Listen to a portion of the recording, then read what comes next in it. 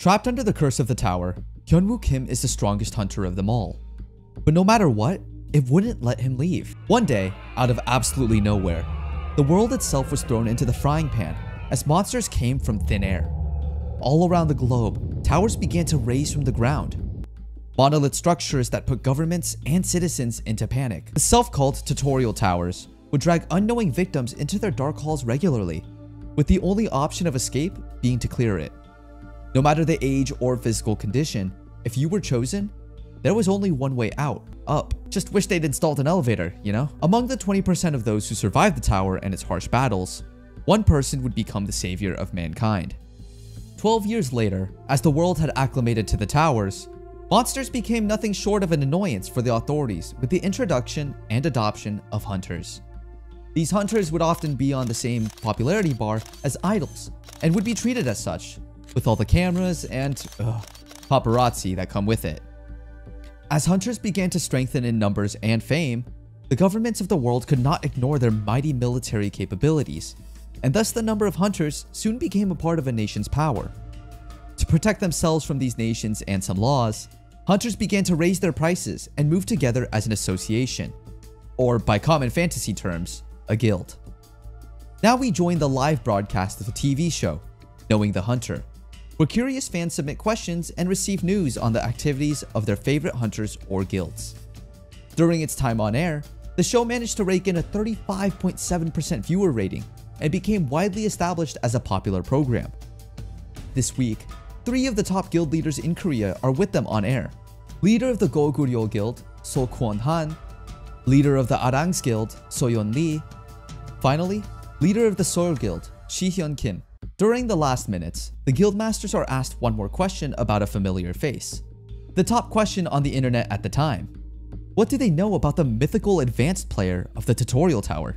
Uh, wait, tutorial tower? And only 20% of the people survive? Some tough game this must be. The guild leaders shock their host by claiming that yes, he is real, and if he hasn't died yet, then he must be living the good life inside the tower the very first hunter who fell in with the leaders and never managed to make it out. They detail that, for some bizarre reason, the first hunter was cursed and no matter what he did, the tower would not let him leave its halls. The escape portal would only send him back to the first floor. When the hostess's shock is over, she asks if they considered him the initial hunter candidate, and the response is a unanimous yes. To the best of their knowledge, he has trained every single ability to the max level, with the sole exception of magic. When pressed with the question, is there a chance that he grew into a really powerful hunter? Are you deaf? The leaders claim that according to their reports, he had cleared the entire tower from floor 1 to 100 within a single day. We fade into the tower and a group of the people trapped inside, screaming for help while running for dear life away from something. We finally get a look at the first hunter as he just casually walks through the crowd like it's a lazy Sunday, facing the boss of the 100th floor, Palak. Online speculation circles around this guy and his borderline mythomania status. On the first floor, he'd hit a monster so hard it no-clipped to level 10. With nothing but a kick, the 100th floor boss is brought to kneel. After a minor psychological break, he simply wonders what ending to have the next time. In the last 12 years, clearing the tower has never really been easier with the wealth of information humanity possessed. Each tower was no different from the last, with zero content changes. With each tower clear, more techniques and opportunities showed themselves, and because of the internet, nothing is ever really lost. With worldwide strategies freely available, the world record for clears became something of a sport. And in most cases, all citizens are educated in how to clear each and every room there is. Though no matter how much you prepare, you'll never be ready for the real deal. For coming up into the 99th floor, you reach the so-called Zenith of Fear, Palak, the tower's owner. The final boss. 70 out of 95 people fear this entity which by this point had claimed innumerable lives. As a man lies on the floor, staring up into the creature's eyes, Palak gets yeeted back by the body of his minion, which was kicked into his royal highness by none other than the advanced player. The boss dies instantly. So much for fearsome fiery fish face. Stepping through the portal yet again, Hyunwoo Kim marks the 1350th start of his forever climb up the Endless Tower. After a hot minute on the fact that he just can't seem to get out, we're shown the impressive status window where we see he has max stats and even surpasses the stamina limit. A short flashback to 12 years prior shows us his first clear of the tower, the rejoicing moment when everyone believes they can go home. They make merry and jokes, right before Kim passes the portal for the very first time, and arrives back on the first floor. After seeing the curse, Kim can't help but rage out of frustration and terror. As he accepted his new reality, another 10 clears of the tower would follow, trying all kinds of cures that never worked. Probably some things in there he's not proud of. Best not to think too hard. As his power increased over and over, not even the dungeon walls became able to hold him. A single swing and there goes a stone pillar. After five years of trial and failure, eventually he deduced that there might not be a cure. Eventually, in half resignation of his situation, Kim opted to entertain himself by various means. These included acting as an unscripted NPC and being a military instructor meant to help fresh trainees, but eventually it just became painful to watch them leave.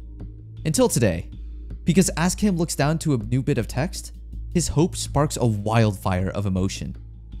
The loop has been removed! With bewilderment building up, Kim slowly realizes he can finally leave. After everything he's done, the spell was broken. With a cry of joy echoing the halls, he kneels down and springs to the very top of the tower, rocking the entire structure. The fastest current time to clear the tower has been officially recorded at 10 months. As the Guildmasters explain, most of their concerns lay beyond floor 51, where a high-level, big threat boss appears on every 10th floor above. Uh, sure, a high-level boss. One that totally isn't being mercilessly murdered by the Rising Kim as he blasts through floor after floor. In mere minutes, he faces the Balrog in the teeth and turns his head into a fine red mist. Well, what's left of it after this explosion? As the tower opens to the field made around it, the authorities immediately ready a list of survivors who should be coming out. We learn that this has to be the fastest clear in history. As he's asked for his name and congratulated on leaving, Kim yells and cheers with joyous victory that he's finally broken the curse and come home. On checking the list again, the instructor can't seem to find his name until, on a hunch, he checks the first group to ever enter the tower. I'm sure you can guess whose name he finds. One week later, knowing the hunter is on the scene at the Korean Tutorial Center to witness the 18th group. They single-handedly reduced the world record by two weeks. But the rumor everybody and their mother seems to be interested in is that the mysterious advanced player was present for this. At the Tutorial Tower's VIP waiting room, the guildmasters gathered to discuss if their long-awaited friend has finally rejoined them in reality. They eagerly await the test, noting that Kim would be the exact same as when they last met him, as the tower stops both aging and appetite. Down in the training room, Kim is enjoying himself a bag of chips, while the trainees are preparing for their test. They all move out as the doors open, beating instructor David, an A-class hunter, pretty high up there, in front of their challenge. As they are soon told, the entire world is viewing this trial. However, they shouldn't be nervous, as compared to the tower itself, this exam would be an absolute cakewalk. As he starts the operation, it is said that there are many, many difficult challenges that a hunter would face in this world. One of them would be the infamous maze. Living true to its name, the maze is a labyrinth complete with every kind of trap imaginable. The only instruction they are given is to get to the exit, and a 30 second timer begins ticking away. 3, 2, 1. As soon as the exam starts, they rush into the area with great discipline. Kim stays behind and turns to the instructor, asking only a simple question. All he has to do is get to the exit, right? The instructor says yes, but asks if this is how seriously he's going to take the exam. After a pathetic attempt at intimidation on David's part, Kim suggests a bet. 100,000 won says he makes it in 20 seconds. The stakes are raised to 1 million won. Kim quickly runs off to the edge of the door, getting giddy about the fact that David's one day of pay and overtime allowance is 10 million won. As his strength rapidly builds with a pulled back fist, David and the world can only watch in glorious wonder as, with one hit, the entire maze has a large hole put through it. I think this player had modded the game a bit too much. One casual stroll later, and our boy has arrived at his forcibly made exit.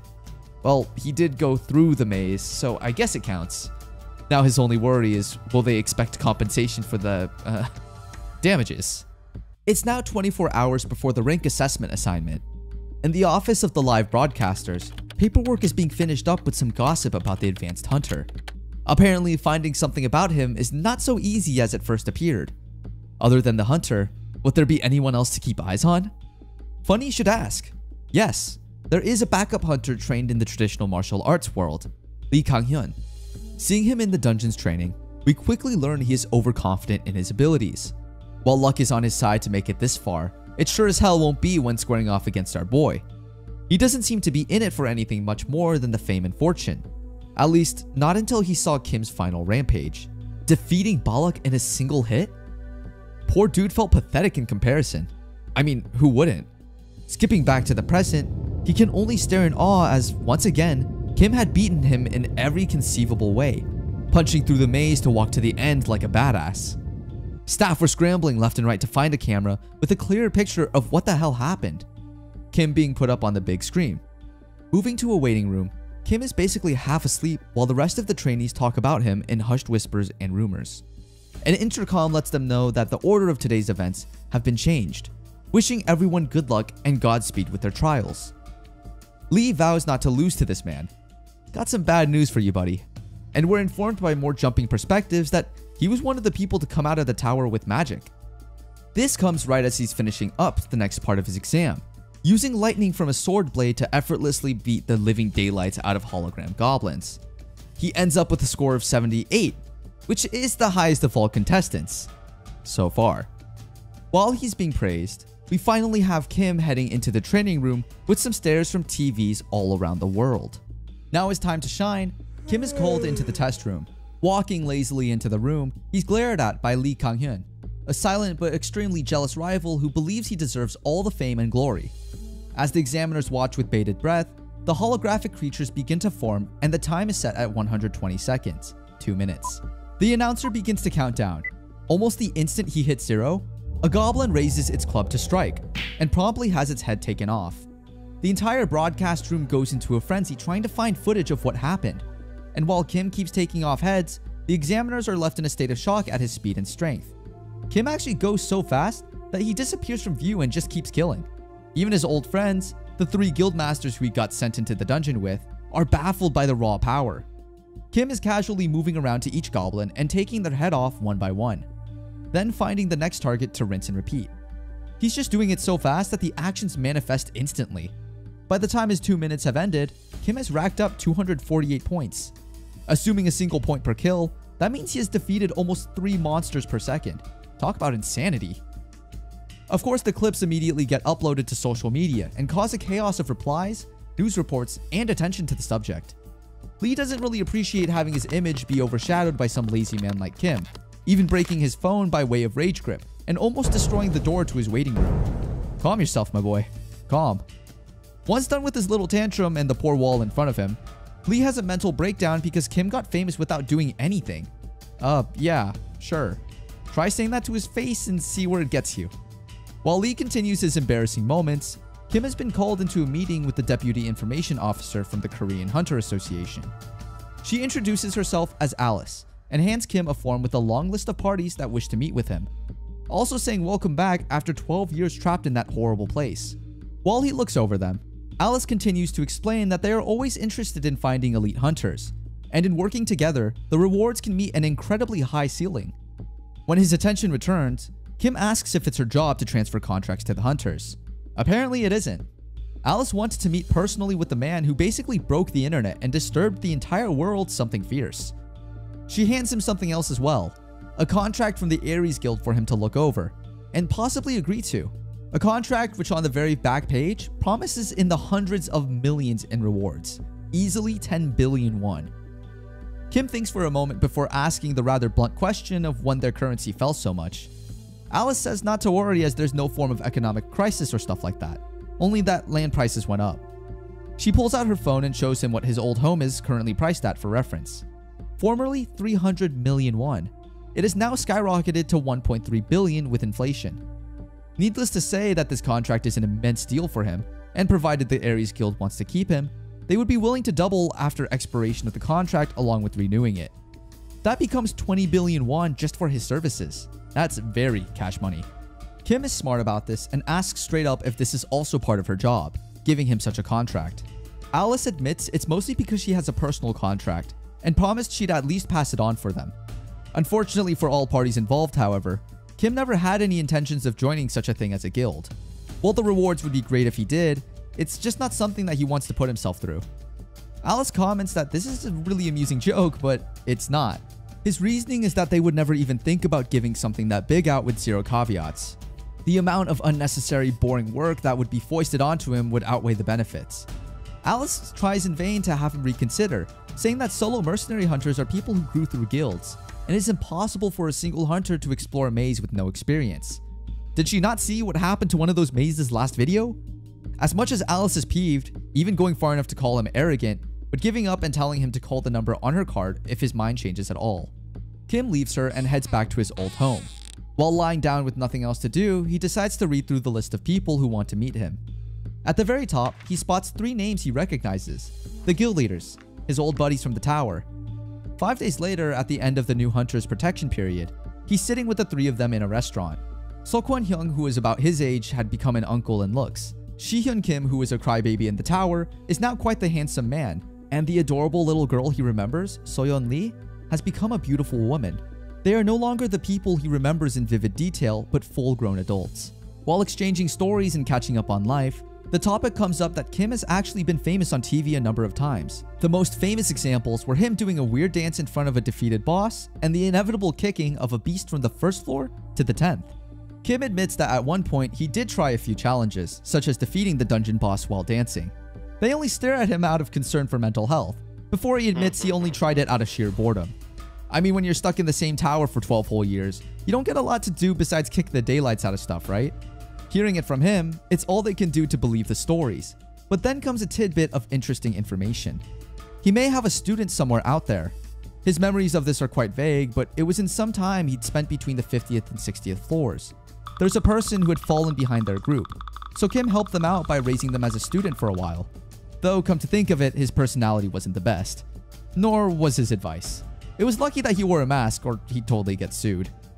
After a great day out and catching up with his friends, Kim is back at home in bed and looking over a status window yet again, a mystery to be solved. Oddly, the limit of the tutorial phase had been removed as had the 36 from his age, replaced by 24. Guess that his age really didn't go up. Kim wonders though why the text about the loop being removed was still present though. New instructions catch his eye though. They're looking forward to him clearing 3 more dungeon bosses to move on to the next level. Uh-oh. Calling it right now? This isn't going to end well. He's also given a list of the areas to clear, but a knock on the door at this late hour catches his attention. One of the caretakers has come to his door, saying that there are a few people downstairs who want to meet with him.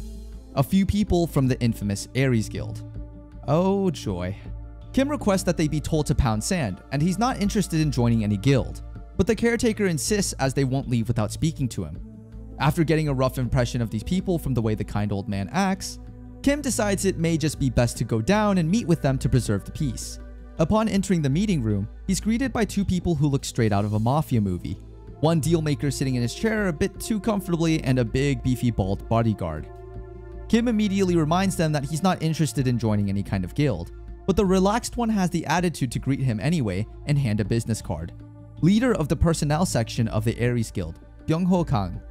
He asks bluntly if Kim thinks this is okay, to not join any guild whatsoever, much less the Ares Guild. Kim retorts with a simple but straight question of his own.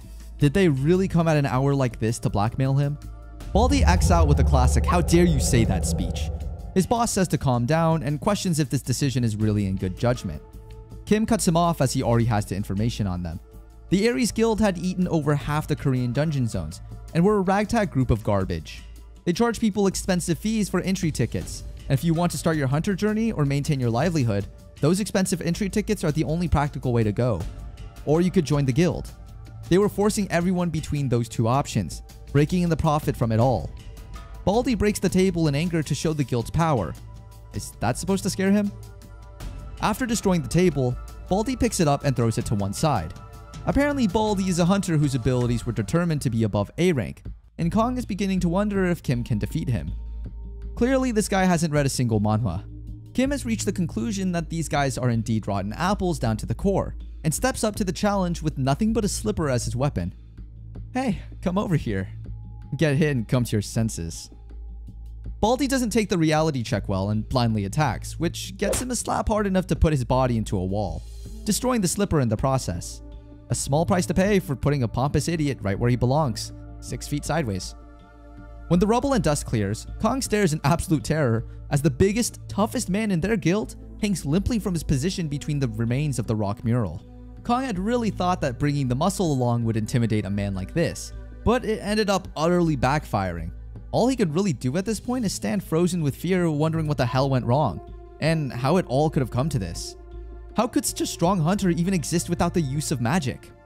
Kong is broken from his stupor as Kim approaches, stating that the one thing above all else that he really really hates in this world is when he gets threatened. Kim heads out to Xian's place to relax a little bit and blow off the steam while enjoying some strawberries. Xian warns him that it's best not to be on the end of a grudge with these guys, as they seem to have a nasty habit of killing people within the mazes, where no witnesses are around. While he's present, Kim also starts to gather information on these dungeons that he's supposed to be going into, asking Xian if he knows anything about the Institute of Adoran. The Institute of Adoran is a C rank dungeon in which Kim has business. That is the only explanation his friend, Guildmaster Xian, gets when asking why he wants information on it. While Kim enjoys some strawberries, Xian explains that the Ares Guild owns that particular dungeon and are abusing their rights to block entry to non-guild members. Kim shouts that this is absurd and asks what the government is doing to prevent this. Aren't there any antitrust laws or something of the like to stop them? The blunt answer is no.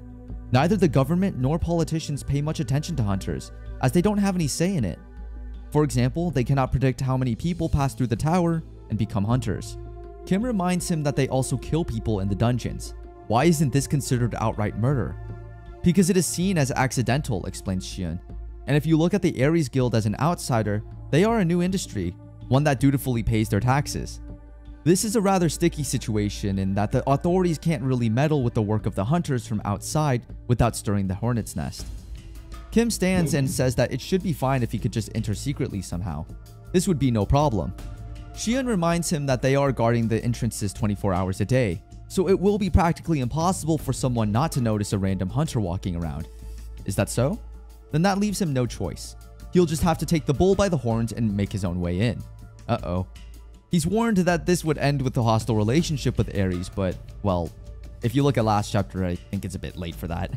We now jump to the Ares Guild HQ, where higher-ups are discussing their expansion of the guild into China. The Pado Guild has evidently become a nuisance, leaving the estimated time of expansion at 5 months. Our first look at one of their higher-ups, branch manager Sunwoo Yu, is very telling of the Ares mindset, as he says that you don't need to be faster than the dungeon boss to survive, you only need to be faster than the person in front of you. Not a guild I'd ever join. Next on their list comes the expected abilities of Kim Hyun-woo. Sunwoo does a double take on the clipboard and asks if this is some joke. He's assured that this report was conducted based on the footage from the tutorial zone, using the analytics machine introduced on a trial basis for all the calculation. Sunwoo asks if the machine has a screw loose, and while the director of personnel thought the same thing, no matter how big the error range is, it always stays within one rank by design. They did try to recruit him before finding this, but we all know how that went. Sunwoo says to forget trying to recruit him as someone like him will only end up causing more problems than he's worth. While it would be a good thing for the guild to recruit him in the short term, Kim may not be satisfied with whatever he gets, and that could be a threat to Sunwoo's position. Rather than recruit such an unruly man, it would be better to give him a so-called injury. The director understands the meaning and vows to take care of it. As he's exiting the room, one of his subordinates rushes up to tell him of an important problem they've had at the Institute of Adoran. I wonder who that could be. At the entrance to said dungeon, the guards are rejecting a cute girl who has no ticket even as she pleads with them to enter. There's no other place to hunt in the area and they know it. The guard approaching her says that he's an oppa of principles, but when he sees her, his heart gets a bit weaker, and he'll let her in for her phone number. Um, Ew. This is where they notice Kim walking up to the gate. Kim tells him that his business lays inside the dungeon, and the guard starts to get annoyed. I'll get the popcorn. The guy tells Kim that if he's going to go mad, do it somewhere else. Kim is silent for a few seconds before taking off his shoe. Uh-oh. And saying they don't really get it. Even though he's talking peacefully, they just don't understand. He tells the big guard to come here with a smile. The guard is now getting agitated, but before he can finish his sentence, off he goes over the gate from a slipper slap. The remaining guards just look between Kim and the dust cloud behind him, trying his best to process what the heck just happened. With his meathead of a friend now collapsed into some dented metal fence, Kim appears behind him like it's nothing, wanting the guy's shoes. The poor guy doesn't really have a choice in the matter and hands them over to Kim before things get ugly. Our protag remarks at how light these things are, despite being made almost entirely of metal. The guy had paid 5 million won to put weight reduction on them. Oof. Meanwhile, at the Seoul Guild headquarters, Shion is getting an earful from one of Kim's other old friends in the group, Soyeon Lee. The woman is worried sick about Kim going in there alone and chastises Shion for letting him walk out of there. But he retorts by asking how the hell he was supposed to stop him from walking out, especially when he told Kim the exact same things. Does Yeon think that she could have stopped him in the same situation? She goes silent for a moment upon realizing that he's right. You think? I mean, you try stopping a freight train. Yeon quickly becomes concerned about the Ares Guild next, as Kim already has some bad blood with them because of the beatdown he gave their chief of staff last episode. But Shion couldn't get more detailed info than that. He knows that if Kim keeps still, there wouldn't be a problem. However, the moment there is a breakdown in relationship, Kim gets very angry at the opponent and shows his rather twisted personality. He knows why it's twisted the way it is, but in essence, thinks that they shouldn't really need to worry about Kim if what he told them is true. Yeon asks what he's talking about, and Shion reveals Kim's ability grades to her. The woman stumbles back a little in sheer shock, slowly processing the info she was just given. Going back into the depths of the Aderon Institute, we join a small group of hunters looking to take down the boss Aderon as they develop a strategy. While they do this, Kim casually strolls through the hallways, encountering the big scary monster. They watch helplessly as it notices Kim and is enjoy it finding a new research subject. Creepy as heck, but alright. The boss grinds his giant scalpel against the needle of the syringe strapped to his arm, and Kim simply warns him not to do that. Adron only has a second to ask what he's talking about, before the boss's head is taken clean off by a single kick. Kim looks to his menu which confirms the kill of the first required boss, while the group of hunters nearby watch out of bewilderment as the advanced player from the rumors walks away. Somewhere in the basement of the Ares Guild at the executive department's office, Management Department head Chun Myung-woo gets a surprise visit from the Director of Personnel. As Chun looks through the file given, he's impressed by Kim's ability ranks and asks if he truly has this much. Director Sun Woo tells him that this is just a temporary analysis, and it's not 100% accurate yet, but it's still incredible, and the strength of a monster. Chun asks if he just has to recruit Kim. Instead, his orders are to give the protagonist a proper injury, though even if Chun does what he wants, there won't be a problem. On further pressing, Sunwoo says that because Kim rooted through their exclusive dungeon and smacked up the guards, the Ares pride was wounded quite a bit. Chun pipes up that since it'll be hard to give someone like Kim an injury, they would do better taking care of the problem discreetly and not involving the branch manager. He has to concentrate on the expansion in China after all. The executive department is also pulling personnel out of the country because of the Pado Guild.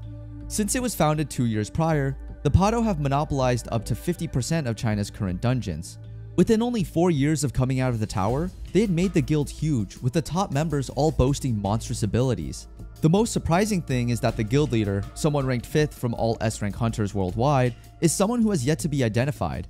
Anyway, they shouldn't worry about Kim right now because the executive department doesn't have the men to give him a proper injury. Instead, they will send a carefully selected expert to handle the issue neatly. Meanwhile, Kim is fiddling with the new phone Shion got for him, oogling at the modern technology and how it changed over 12 years. He takes a picture as well, admiring the crystal clear image on screen while Shion wonders if buying him something like this was a good idea. He'd been fiddling with it for the last 3 hours, now playing a mobile game to pass the time. But on a lighter note, looking at the Forest Village dungeon that Kim mentioned, Shion's very own Seoul Guild is the one managing it. At least this time it will be an easy trip to get in. There probably won't be any boss monster though. Kim has to do a double take, what does he mean there's no boss monster? Shion explains that unlike in the tower, monsters in dungeon just spawn endlessly from predetermined locations. If you kill a boss, however, it takes them quite a lot of time to regenerate. While different for every dungeon, it takes about a month for the forest boss to respawn. But since they caught the boss about 4 weeks prior, he should be up and at him in about 2 to 3 days. Annoyed with the wait, Kim asks if Shion managed to get any info about the other dungeon, the Visible Swamp. But unfortunately, that dungeon is held exclusively by the Ares Guild. If Kim looked properly, he may be able to find some information regarding the place. Shion also asks when Kim plans to visit the Hunters Association to register his rank. When Kim asks what it is, the Guildmaster explains that it's to receive benefits, accommodations, and their partner programs. You also get paid from it, but have to accomplish something at least once every 2 to 3 months to keep the registration. If you get to the top of the chain at S rank, you get around 700 million won a month. Kim and Shion step into the Hunters Association building, finally heading to the ability measurement branch to reveal the advanced player's stats to the world. As the investigator hands Kim the measurement device, a small hologram appears next to him, calculating the grades. As the machine finishes its work, Kim sighs in relief and turns to give the staff his tool back, but has to step back in surprise as the guy screams in shock from the readings. Within a mere matter of hours, word is already out about his ability grades, and the internet is eating it up. People are in awe, saying he's practically equal to the first rank hunter. Kim is baffled at how information gets out so quickly in the modern era, different from the 12 years ago when he lived on the outside. Not even a few hours have passed, and the internet is chewing itself to pieces over his rankings. Shion mentions how he's the single most talked about person these days, so it's not like there's anything they can really do about it. Ever since he turned the Ares dungeon on its head, a lot of groups have been keeping a very close eye on him. While Kim doesn't seem to care all that much about how he's shaken up the world, Shion advises him to stay on his toes as the Ares Guild will have collected all that information on him by now. He needs to be careful from now on as the Ares Guild are really dangerous people. Meanwhile, Kim is trying not to laugh at something on his phone screen like a child. Gonna be harder than he thought. Poor Shion. After an awkward moment of silence, Kim asks why Shion is escorting him around. Doesn't he have things to do? I mean, Seokwon Hyung and Soyeon, the other guild masters, look very busy but he seems to have plenty of free time. Shion seems slightly annoyed by the question but answers it anyhow. Indeed, he is also a guild master and has his own responsibilities, but he had made extra time just for his old friend. Deep in the Ares Guild's basement of horrors, two senior men are having a detailed look into Kim's rank, and one is practically fainting on sight. The chief of their executive department says that he's a pure-blooded monster with ranks that high. No wonder the branch manager above them both wants this guy dead. The executive chief tells his friend who looms over the document not to worry so much. They called Chun Kang-shin, a massive mercenary who will soon be S rank in China. It's the perfect counter to someone like the advanced player, right? Kim remarks at how easy it was to get into the forest village, walking with Shion and a young party member through the eerily moonlit woods. Pretty soon the boss would regenerate, and they would have a good fight on their hands taking it down. Oh please, we know how this is gonna end. But unbeknownst to Kim and friends, a fourth person is tailing them through the area, one with a devious, devilish smile of pearly whites. Kim turns around to the newbie, completely missing the creepy guy, and the boy introduces himself as Gamun Park. He's the supporter there with them to pick up any drops that the boss fight may yield, as everything can be sold for straight cash. Depending on current value, it's around 3000 won per item. Kim asks where the hell drops are used and gets a look of pity after, Figures someone like him who's always carefree couldn't understand. The drops are used in weapon and armor forging.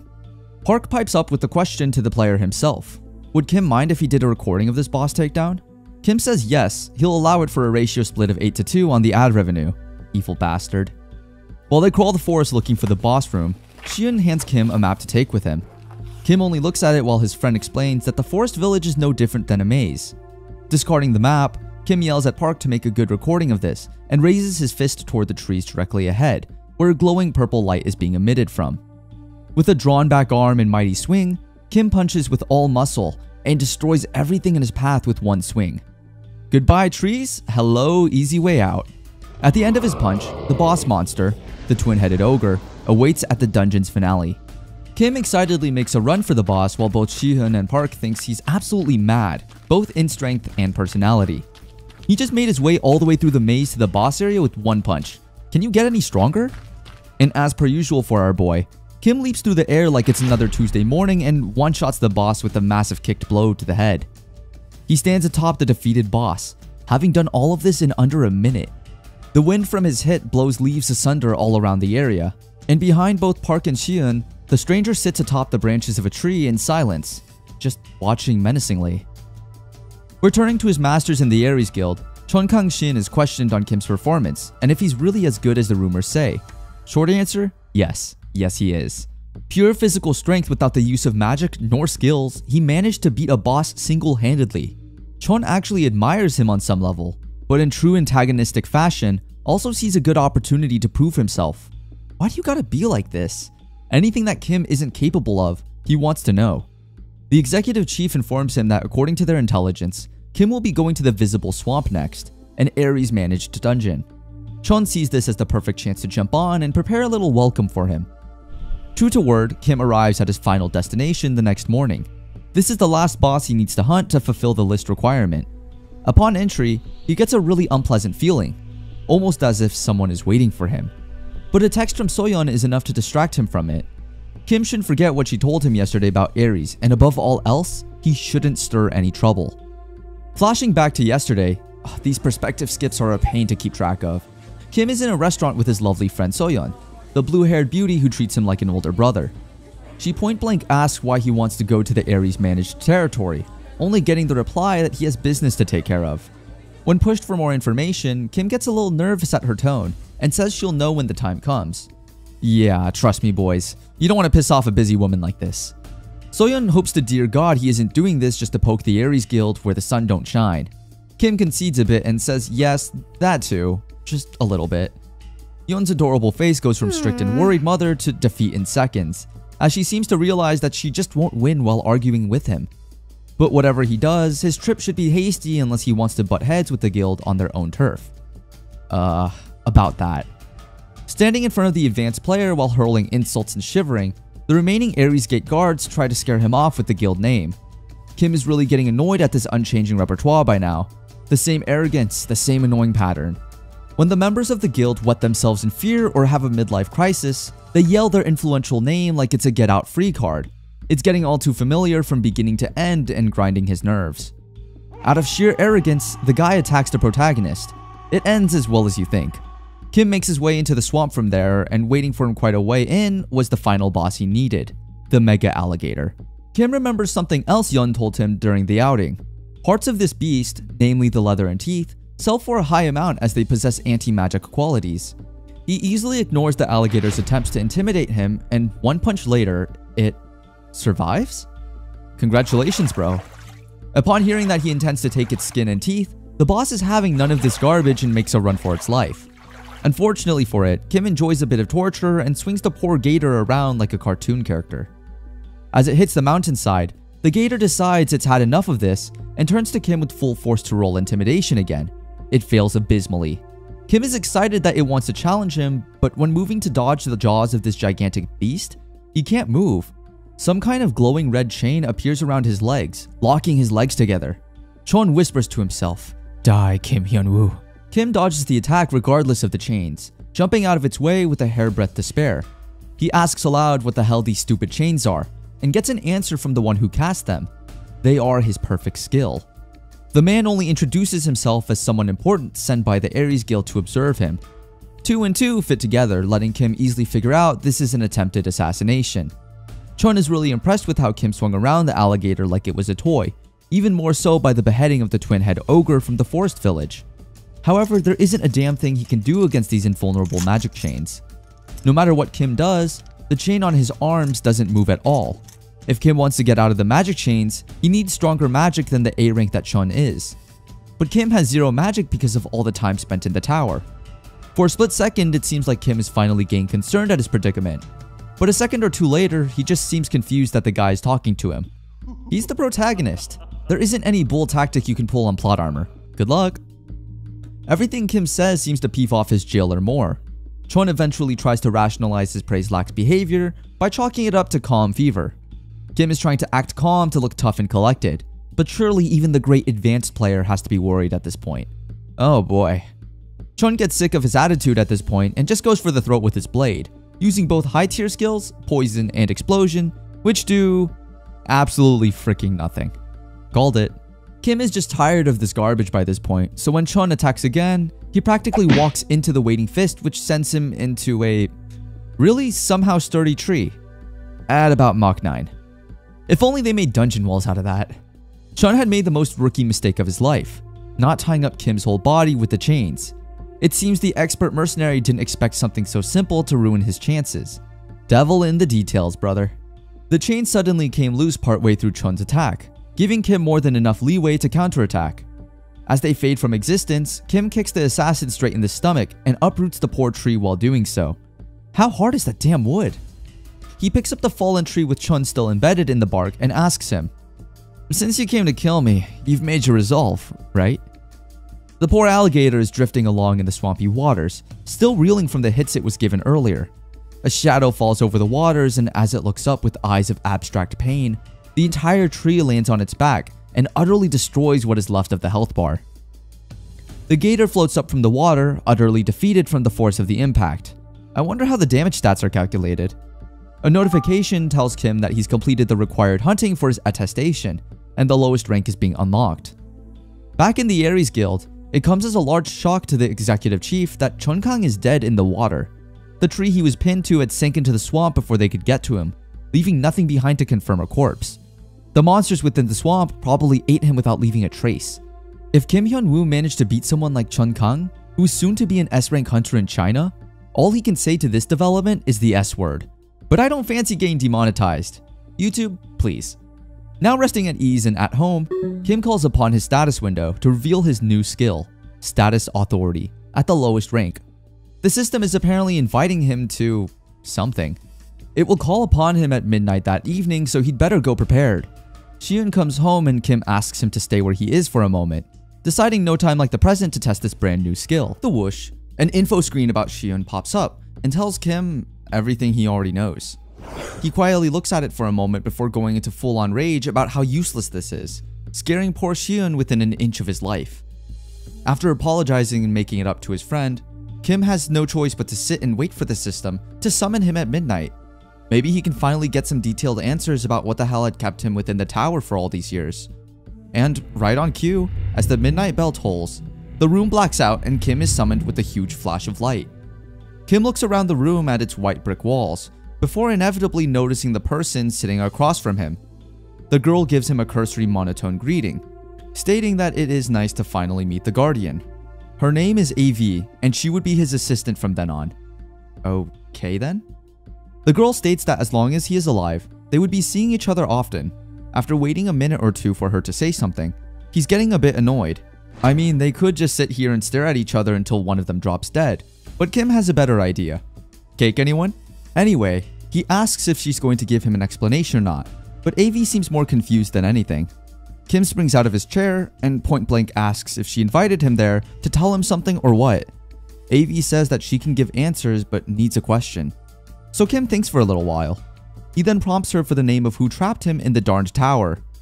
AV only takes a second to reply, stating his status scan is too low level for her to answer. Every question he asks gets the same reply.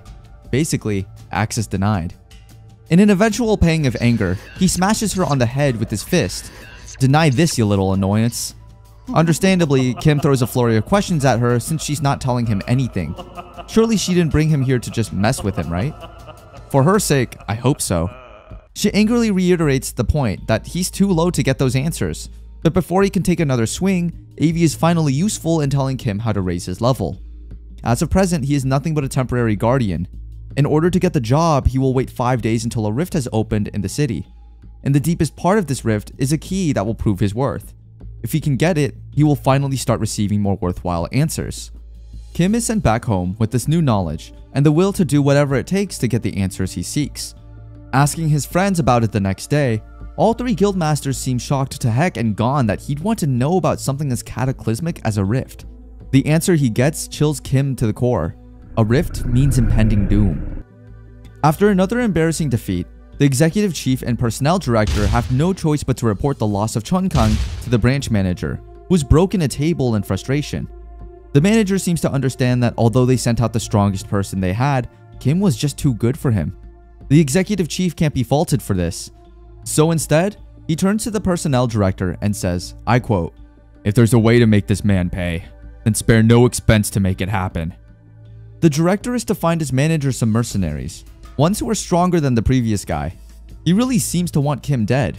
Guess a blow to their pride was the push over the edge this guy needed. And when he's finished with Kim, they will turn their attention to the Pado Guild's masked special forces who have been removing Ares members from China left, right, diagonal even. While these plans are made, Kim and friends are out enjoying a nice meal. The precursor to him asking about the rift. So Kwon Han, one of the guild masters, is showing Kim a little ring that is worth 2 million won. about 1.8 million US dollars. The tiny ring is an artifact, taken from one of the labyrinths around the city. The difference is that dungeons provide special crafting materials to forge things, or a place to farm magical stones, whereas labyrinth treasures from vaults are already enchanted and powerful. Similar to what you'd find in a game. Thank you, Captain Obvious. As if the menu's all manhwa weren't enough of a giveaway. The status scan can also check this little ring, but as we've come to expect from it, nothing useful is gleamed as everything is redacted. When Kim is done with everything, he may want to head down into a dungeon to get a few pieces of his own like this.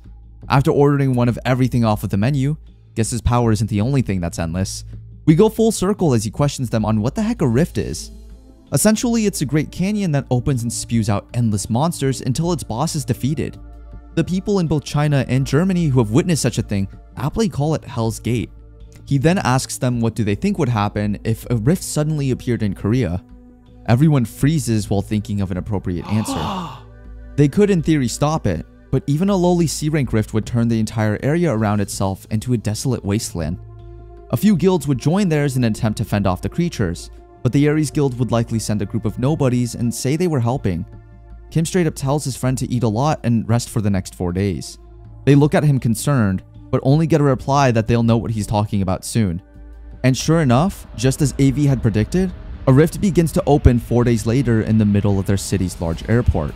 A plane makes it into the sky just in time to avoid the calamity, but those on the ground aren't so lucky as beasts of all sizes begin to howl from below. An acolyte glides through dark stone hallways lit by purple flames, headed for the chamber of his master. Upon arrival, he only mentions that the ninth class has finally awoken. Not fully, but it will not be long now until they take on their specific duties. His master seems pleased to see what Kim Hyun-woo can do to amuse them. As the crowds fall to the airport floor from the intense earthquake, the runway splits in half, pouring out monster hordes the likes of which Korea has never seen. A news chopper takes the scene live as first hunter groups arrive to deal with the imminent threat. Many tremble in fear before the might of these large, scary beings, but commanders yell to not falter, as that will be the deciding factor that may get you killed. A rookie stares in fear at the wolf being before him, prompting the leading officer to restrain it with a skill and eliminate the beast. The hunters fend them off as long as they're able, but outnumbered by 10 to 1. A scream draws everyone's attention as a giant red skeleton with glowing eyes and a weapon walks out of the destroyed airport, raising its club to strike. The monster is ranked A+, and for good reason. With a single swing, one of the shield bearers is sent crashing into a nearby car, not only destroying it, but allowing the beast to get closer. It raises its club for a second strike and has its head split in two by Kim, who lands as if he were just on a quick afternoon walk. The monster's carcass begins to disappear and the commander runs to his fallen comrade, thanking whatever deity internally that he's alive and saved by advanced player. The cavalry had arrived. Everyone ogling at him doesn't seem to realize that there are still monsters present and surrounding them. The group quickly defends themselves while Kim remarks how hideous it is, seeing this many monsters in one place. While he should really go to the end and take care of this once and for all, he can give the runts a hand first. With brute strength, he lifts the skeleton's fallen weapon, smashing monsters left and right, again leaving the groups in awe of his pure power and ability. He quickly makes his way inside the airport, leaving the rest of these monsters to the defenders while he tackles the source. They aren't too pleased at being left behind, but have no choice except to hold out for support. The group is quickly getting exhausted and there doesn't seem to be an end in sight for them. But very shortly do they find an experienced swordsman cutting through wave after wave of these creeps. Shiyun and the Seoul Guild have arrived, and he isn't the only one to bring backup. Lightning magic rips and tears through the ranks behind the group, the beautiful Yon making an appearance with orbs of electricity at her command. And last but certainly not least, the Uncle Sokwon also arrives with a battalion of knights to back them up. The leaders look around for Kim, but are quickly informed that he's made his way inside already. With a mighty roar, Solkwon charges into battle and rams through the nearest enemies with blinding speed. Despite being dressed as a block of tungsten, the monsters that come for Shion quickly find themselves without blood nor limbs, and none dare approach Yun Li as she deep fries anything around her in thick coats of lightning and thunder. Meanwhile, Kim is wondering about the best way to get down into the depths of this Grand Canyon, while monsters just keep climbing the cliff face from a thin ramp. Seeing a nearby car, Kim goes over and simply rips its doors off their hinges, using these as improvised shields to survive the landing. He runs forward and leaps feet first into the endless void below, landing on a few poor goblins and other monsters in the process. Having way too much fun with his power, he proceeds to absolutely wreck everything standing in his way, smacking them headlong off the cliffside and back from whence they came. Begone, demons! When one of them hits the ground not too far down and the thud echoes upward toward him, Kim throws the doors away and just keeps leaping down deeper into the void. He finally hits pay dirt by landing on a small mountain of corpses of the monsters he'd thrown back into the depths of the Hellgate. Stepping down from this, he finally meets the boss of this little area, the Crimson Demon, Arukiru, and immediately spots the little key jangling at his side. What Kim doesn't expect is this demon being able to dodge his hits. The first one utterly fails and he gets yeeted back into the wall for the first time in the series. When he looks up, the demon is already closing in with a striking punch.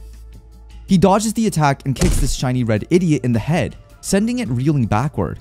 It tries to say something in what seems to be frustration, but nothing intelligible comes out. Kim just assumes it's the same old stuff they always tout and goes in for a knockout punch. The demon catches his fist and absorbs the impact, using it to spiral Kim back into the wall again. This beast is much stronger than any other monsters he's encountered, and it has a special name attached to it, Climber. It looks like all the stops would have to be pulled for this one, and he'd have to use a skill we've never seen before. Standing up, Kim grabs his attention and goes into a new kind of pose. Back in the tower, he had tried everything there was to escape, including the corny trope of finding enlightenment via martial arts. Say hi to Jinho for me. It was all stuff he had learned from movies, comics, and anime in the end, so it was probably all garbage.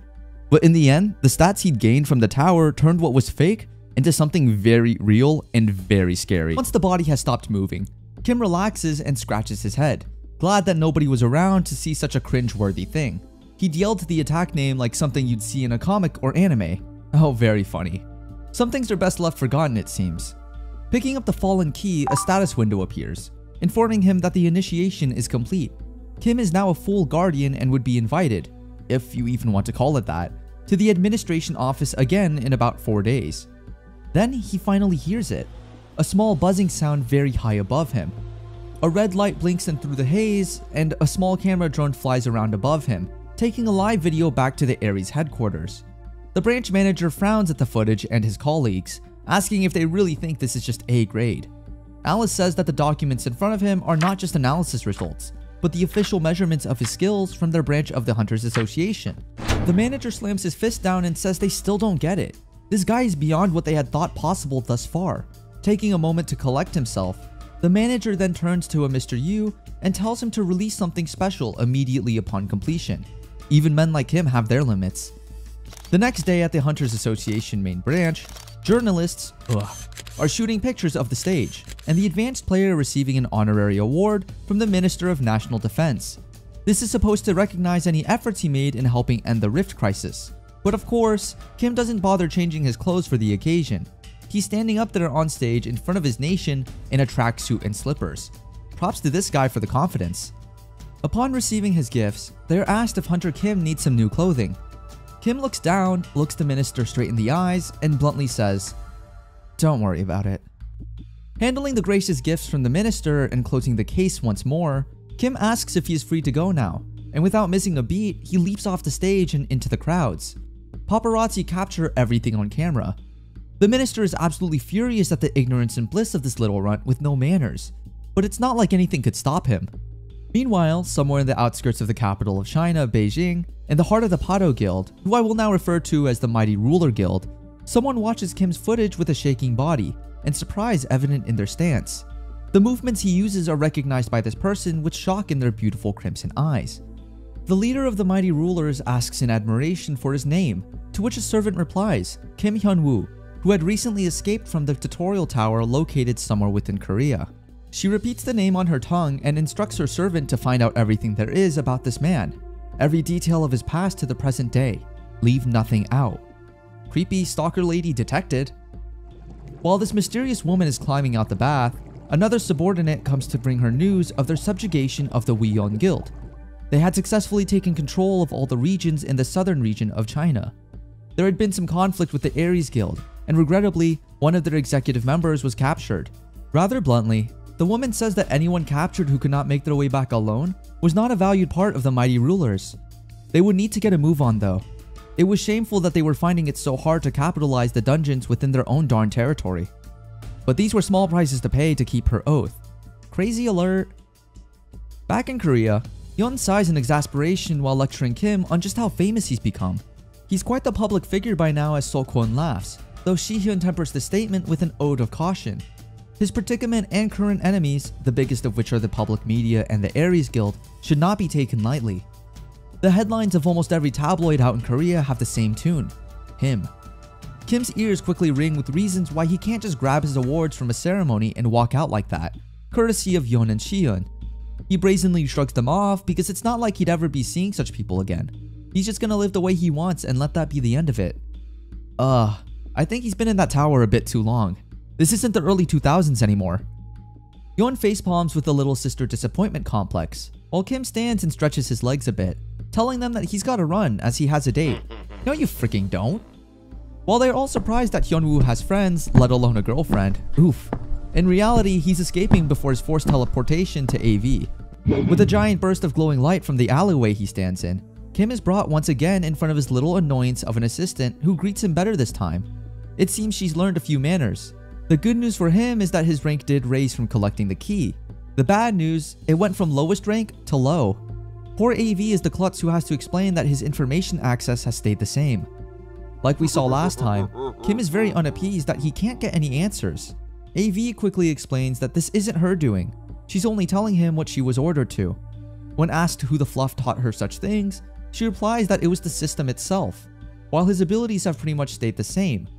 That rage isn't good for your heart, my bro. AV is now to tell him what he could do to raise his level further. Now that he is done proving himself, Kim will have to stop all the climbers of the tower. He asked what they are because he'd never heard anything about them in his 12 year timeout. But AV, much to his surprise, is not referencing the tutorial tower. No, instead she is talking about the Tower of 12, of which Earth makes up the ninth layer. That's right ladies and gentlemen, Kim Hyun-woo is now an official superhero. His task as a guardian is to defend the Earth itself from the climbers. Oh heck things just got real. And the protagonist is not very happy with this development. I mean, who would be?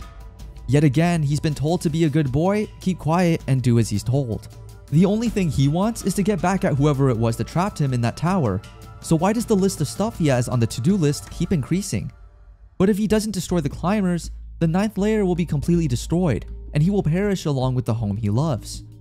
When Kim straight up asks if he's to just follow orders, AV backpedals and tries to pick her words carefully. I doubt she wants another smash on the head, he tells her to stop mincing up the wording and give it to him. The tiny girl builds up a bit of her courage that comes with her rank, assertively speaking his name, but she very quickly finds this a bad idea by his lack of any fear. So instead, she tries another angle, saying the fact that they selected him as a guardian was for his own good in the end. And there would be rewards alongside his achievements, increasing in value the more climbers are defeated. Kim takes a pause to think, calming down to rational levels for a little. Eventually, he pulls the smart move and asks what level his status scan needs to be for the information he wants. AV answers immediately that he need to be at least a level of high. I sincerely hope that means 420 points. And by taking down the climbers, he'll eventually get where he wants to go. There's just a few extra steps. And while AV cannot answer exactly how many he'd need to take down, about 5 high level climbers will get him the information. The Crimson Demon he fought was likely a low level climber. After being returned to the city with his knowledge, Kim thinks back on all he's just learned. Our man here don't care about no world that needs saving, nor Earth existing inside the tower. All he needs to know is that he can work his way up and kick the daylights out of whatever put him in the torturous tutorial zone. He's broken from those thoughts by a phone call from Soyeon. The beauty tells him to turn on the TV and flip to a news channel. Write the fluff now. He's in big trouble, for according to the channel he's turned into, Kim has apparently murdered a valued member of the infamous Ares Guild. Oh, you sons of. The next morning, they are at Sokwon's place, and the non-stop buzzing of their phones amazes our big hero. Yeon asks loudly what he thinks caused all the commotion, as he was already famous from the 12-year tower escape. Entire countries started paying attention after he single-handedly cleared the rift. And with the accusations of murder now coming out, Yeon has been anxious since he first mentioned crossing the Ares. When he makes the mistake of telling her to calm down, the woman just goes into even more of a rage, telling him he's acting as if he were still in the darn tower. This thing ain't on autopilot, son. Kim quietly feels like he's getting scolded by his wife, even though he's never had one, let alone a girlfriend. Told you so. Considering for a moment how much she worries over him, the man gets some serious nerve and asks, I quote, Do you like me? Someone get the blast shields, because this woman is about to go nuclear. And right on cue, there's the lightning. She's done playing with him and dares the man to make one more joke like that. Kim does the smart thing and backs down from the raging blue beauty, finally realizing he'll get killed for saying stuff so freely. Shion stands up and grabs his phone, showing just how many missed calls he's gotten by this point. Even online search results have pushed the four of their names to the top. He shares one of the various articles on the subject, talking about how the Ares Guild had sustained victims and damage with the fall of Chunkang. Kim still can't understand the glare his old friend is giving him. At this point, Kim asks Seokwon what time the press conference will be ready, and he says that they could start in about 30 minutes if he's ready. This shocks Shion and Yun back to life, who ask what the heck he's planning to do with the gathered massive media outlets. Kim looks at them a little dumbfounded and asks if they really think that low of him, that he'd bring together something this big without any sort of plan. They really show their colors here with details of what he may do. It's a bit depressing for the poor guy, but in all fairness, he did start a personal grudge with the most powerful guild in Korea. Back in the Korean HQ of said guild, the branch manager drums his fingers on a table. Everything is going according to plan thus far, the media lapped up the false story they sent out with no questions asked, and the news covered the incident last night on national TV. As an added bonus, there will be a live press conference streamed by Kim himself sometime soon that day. But judging by the current public reception, even Hyunwoo won't find it easy to wiggle his way out of the public rage. The manager smirks to himself. Finally, they have the upper hand on this menace. The only way to keep it is to remain one step ahead of him at all times as he who strikes first will win the fight. Sitting in the center seat of attention, a room of reporters stares at his lips, awaiting the reaction they hope for. A few questions are yelled as a start, such as why he attacks the Ares Guild and what he thinks about them. In a little twist, Kim loudly and almost proudly states that he doesn't know how things like this work, so he'll just do it his own way. The first guy he answers rather bluntly. He feels, er, even the translator couldn't get that part, apparently. Another asks if it's true that he murdered an Ares Guild member, and surprisingly, he answers truthfully with yes, though he'd like to explain himself before they cast harsh judgment. To be honest, he's not even aware of why such a guild as the great and powerful Ares would do such a thing to him, a lowly hunter who had just come out of the tutorial tower not long ago. There was that time he'd refused the offer from their secret little scout, Alice, but to think they'd act so harshly against him for just a mere rejection is unthinkable, right? Clever son of a... Well, yeah, of course it's unthinkable. What would it do to the reputation? I'd wager the same thing as the audio recording he started playing of Chunkang's final moments during their battle. The guy foolishly admitting he's an assassin sent by the Ares Guild. The recording goes on and on through their entire conversation, easily painting a picture of how brutal the Ares mindset is. Seems Kim royally flushed them here because I don't see a chance in heck that Ares could claw their way out of this one. But that guy seems to when he suggests that this may be a fake recording. So you know what the protagonist pulls out next to shock the entire room? Chunkang's phone. Laying out his trump card, Kim says that he couldn't confirm much of anything at that moment due to the device being locked by passcode, but he's positive a quick check by the companies that made it would say everything. But for the meantime, it was his turn to ask some good questions to stump these fools. What was he supposed to do in the face of such a big foe? Just sit back and take the punches? He was defending himself against a threat, and fought for his own survival while Chung Chunkang failed to notice the gator sneaking up behind him. The mercenary tackled with the boss solo instead and viciously lost his life during the process. A wide-eared reporter puts two and two together, saying that Kim had just admitted to murdering Chunkang. While that is true, it was more set out of guilt over what happened, as Chun's carelessness is what killed him. The media laps this up with several keyboards clattering away in the background whilst Kim keeps them entertained, dancing around with his words to keep the hungry wolves fed. He'd often heard just how amazing a place Ares truly was, so he was more than willing to move past this incident quietly. That's a load of BS. But he wasn't aware of just how big a toilet storm he'd caused by doing such things. I mean, he had lived 12 years in the past where news media wasn't everywhere, so that part is at the very least believable. And while walking out of that soul-sucking conference later that day, Kim is rightfully smug. What he had given the reporters was a massive glaring excuse to poke holes in the pride and joy of the Ares Guild persona the one they had been building as a brand in the Korean landscape and across the world. All of it down the drain because of one lame trick, a simple recorded audio, that the clever hunter had the foresight to make. Yeah, Lady Karma came knocking and she brought a freaking sledgehammer. The Ares chief had only thought of him as a man who obtained strength and no brain with it, but boy did that come back to bite him in the butt. But now this is apparently a more personal endeavor to make Kim pay for the crime of insulting them. And this is so pathetic, I can't read more of it.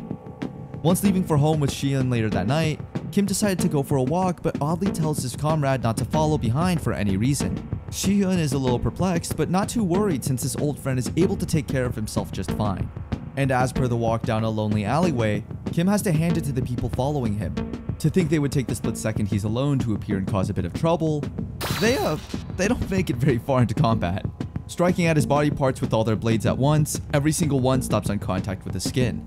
The men are bewildered by their failure to make even a dent on Kim, and when they're done with those oversized back scratchers, he takes them out one by one and still has time to spare. Kim grabs the last walking guy by the collar of his robe, making the man beg for mercy and forgiveness from the protagonist. You just tried to kill him, idiot. You're lucky he needs something from you. If the moron wants to live, then he'll guide Kim to their secret little hideout, where a certain someone is waiting for him. And outside said underground bunker, two guards are idly chatting away while they do their jobs. This place is being constructed at quite the fast pace, the guild working hard to get it up and running. The money used for it is all from quite corrupt sources. While the two yap on the topic of a celebrity coming in today is brought up, supposedly it's that advanced player the news has not been shutting up about. They would like to imagine him being dragged along, only for him to land right beside them and shake the entire structure like a bomb. Yes, this was the place, and that high-ranked team that was supposed to capture him, well, their only remaining member is begging for his bloody life, held by an iron grip. Be glad he didn't hear your conversation, I guess. Knowing how to make quite the flashy entrance, he kicks the elevator out of commission and jumps down the shaft instead, surprising a room full of armed and not so dangerous people. When prompted for who he is, Kim only replies with, The Grim Reaper, who will send you to the afterlife. Oh neat, give Rogue and Johnny my regards. While he beats the snot out of those goons, in another part of the bunker, the Ares branch manager we've come to know and hate is busy torturing a member of the Pado Guild for information. Yet even when her guild has abandoned her, she refuses to say anything at all. This drives the branch manager up the wall. The guy literally sees red and orders that she be taken back to her cell. It's better for her to know what it's like to die if she's not going to be of any use. They should make sure to break her down properly, since it doesn't seem like she'll give them anything.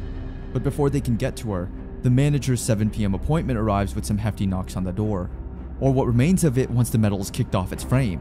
The manager now has a choice to make. Does Kim get to beat him to death and bury him, or will they sit down for a nice lengthy conversation? Ah, there it is. The look of fear I've wanted on this man's face. Not so high and mighty in person, are you? One of the guards in the room doesn't seem to get the memo or have eyes, since he attacks Kim then and there despite the hallway of corpses trailing all the way back from the entrance. One easy thwack later, and that person is rectified.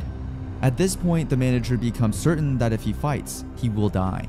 Why? Because every single guard in this building were B plus rank, and most mercenaries were at least A plus rank, while the team sent to retrieve Kim were on the verge of becoming S ranks. Yet not a single one could take him on.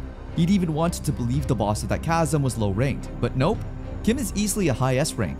You don't freaking say. Kim retakes the attention of the room with the usual sassy words asking if this guy was as deaf as he seemed. I laugh, they all have hearing problems. The branch manager should make up his darn mind already. Was he going to get beaten and buried, or were they going to sit and talk? Oh, the confidence oozing off this guy is great. Even though the manager calls him a few dirty names and his knee jerk is to the right, he has the sensibility and restraint to choose the diplomatic option. Information gathering should come first of all is his take on things, but our boy seems to have other plans, because the first thing brought up is compensation. That's right, for all the trouble that Ares Guild has caused, everything from the assassins to the social media scam they had tried to pull against him, monetary damage comp of 10 million US dollars, alongside a few low-level dungeons they have. After an outburst of rage at how ludicrous that proposition sounds, Kim states it's more than fair. I think so too. But if it's money he wants, why did he reject the Ares Guild offer to join the ranks of their best? If he simply wants prestige, the offer to join Ares was still there, as this relationship of bad blood they have against each other serves no purpose. They could instead benefit from working together and get Kim whatever he wanted in return for his services. Instead, Kim rejects again and adds the girl behind him to the list of compensation, along with $500,000 for wasting his time. He doesn't give a flying fluff about Ares nor what they want.